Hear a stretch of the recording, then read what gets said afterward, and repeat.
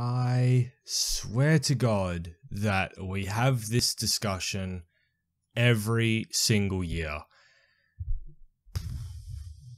Why in the hell are we having more rule changes other than either reversing or keeping some of the rule changes for this impacted season this year without even testing or looking at the impact that they could potentially make?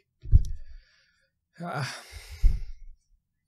we have new rules for 2021. Let's let's have a look and talk about what they are.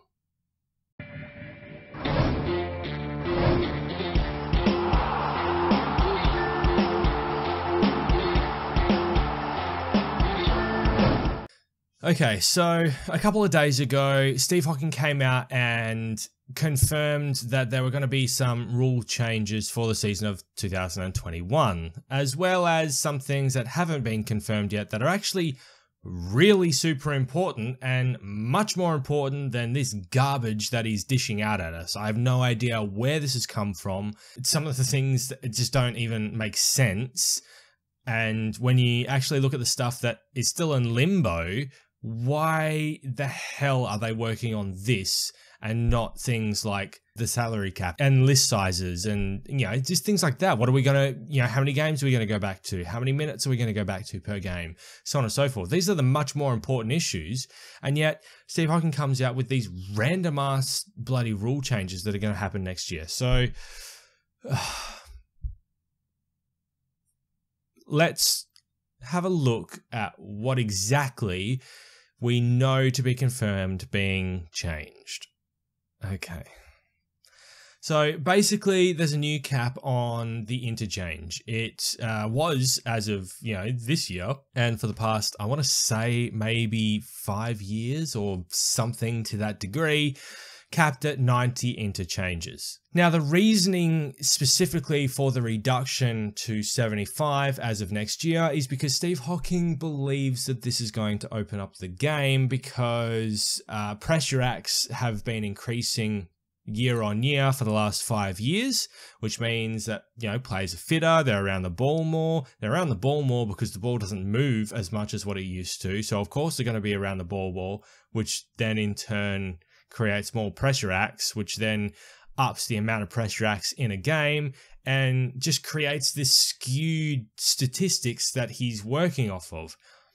I mean, by that own metric, you only have to look at the fact that since they've been dropping interchange caps, pressure acts have been going up. Now, don't you think there's some kind of correlation there? Or is it just that Steve Hocking thinks that this is a really weird coincidence? Let's drop it more. When the idea to introduce capped interchanges was announced eight years ago or something like that, I was I was sort of, you know, let's wait and see, let's see what happens. I think there's some merit behind the logic, right?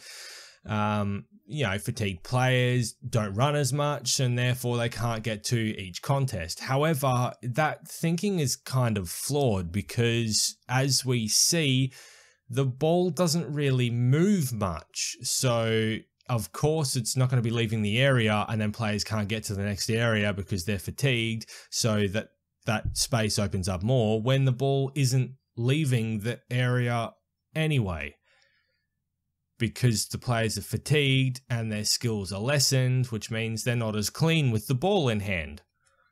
It's uh, it, there's a circle here, Steve. Man, come on, you must see it, right? What is the point in dropping these interchange caps? Leave it at ninety. Don't drop it. It's yeah, it's a really perplexing thing um, for me that one. But the the really, really stupid rule that's come out. An amendment for players standing on the mark with 50 metre penalties to be imposed on players who move outside a 1 metre level of tolerance laterally off the mark before play on has been called. Now, this new rule in particular raises some very, very key issues for me. Steve Hocking is quoted as saying this We think that will open up the game it will open up the 45 degree angle pass option, which is the best real estate. In my opinion, what makes a sport good and what makes teams good is having the ability to counteract certain attacking plays. Now, yes, I know that you know, footy in general is a much more defensive game than what it used to be. And in my mind, that's not necessarily a bad thing. If an opposition team can figure out your attacking game plan and defend against it, then you either one, need to come up with a better attacking game plan, or two, need to have a backup game plan to, you know, work around the defense that is currently going against your current attacking plan. If you can't do either of those teams, then your team is failing. Um, there could be a litany of, of reasons why your team cannot get around or over the defense of a team. But bringing in rules that directly restricts teams from being able to defend is, in my mind, a really bizarre and mind bogglingly stupid thing to bring into the game. I want to bring you just one scenario, and there are more scenarios that can play out other than this one that can hamper a defensive team. But I just want to I just want to give you one just to show you how detrimental this particular rule change is. The defender stands up and mans the mark. Now, he can't really move anyways. Basically, one step left, one step right. Any further than that, he gets a 50 meter penalty against him. Now, what happens a lot, and I mean a lot, in games these days is a teammate of the player awarded the free kick can be circling behind that player to receive a hand, you know, a hand pass. Now that's all well and good because that player in the past or even now has been able to then carry on, shepherd the the uh, defender so that the handball receive has a bit more clear space to then use the ball in in much more open space. However, teams were kind of catching on to this, and what would happen was the player sort of following the player running through, so the defender following the attacker following, you know, through the play. The man standing the mark would effectively change over with the other defender. So he would then run on to block up that space that the that the man is trying to run into, and the man trailing would then take up the position on the mark. It's effectively a handover of players and stops that particular attacking play. It is a system that can be used by a team, and only good teams really actually do this. You'll see young teams don't do this as often because they're not drilled as much into it. Only good, real, you know, top eight sort of teams tend to do this consistently. This new rule actively prevents a team from being able to defend this particular play. How how else is a team supposed to do this without sacrificing a player behind the man on the mark, of which there can only be one person on the mark, which has always been a rule. I don't know why this had to be specified because Steve Hocking seems to think that there's there can be upwards of six men on a mark, which is just factually untrue. The only time we've ever seen multiple people near a mark is when a shot on goal is happening, and all of those other players are behind the mark where they're legally allowed to be. And I would assume still continue to be. You can't penalize someone for standing behind the mark of the player already standing behind the mark. That's just ridiculous. So I, I, I just take really great issue with introducing a rule that definitively is aimed at stopping a particular type of defense for a particular type of attack. So we're penalizing good, structured, coached, well coached teams now for absolutely no reason other than to open up the game. I mean, I'm sorry, if you're a good enough team, you can work out a way to get around this and it's it's it's it's not bringing in a rule like this. Wow. The AFL has to be the only competition in the world, the only professional competition in the world that actively brings in or alters rules on the fly, and I legitimately mean on the fly. There has been no testing of these new rules, these new interpretations.